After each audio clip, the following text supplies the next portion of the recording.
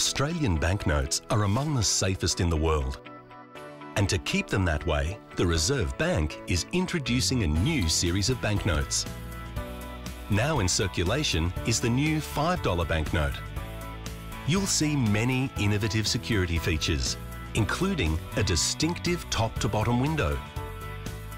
Tilt the banknote and you'll see an eastern spinebill move its wings. Inside the Federation Pavilion at the bottom of the window is a number 5 that changes direction. Turn the banknote over and in the top corner you'll see a prominent patch that changes colour in a rolling effect. And there's a tactile feature to assist the vision impaired community. Importantly, all existing banknotes can continue to be used. The Reserve Bank is making our banknotes clearly more secure. See more at banknotes.rba.gov.au.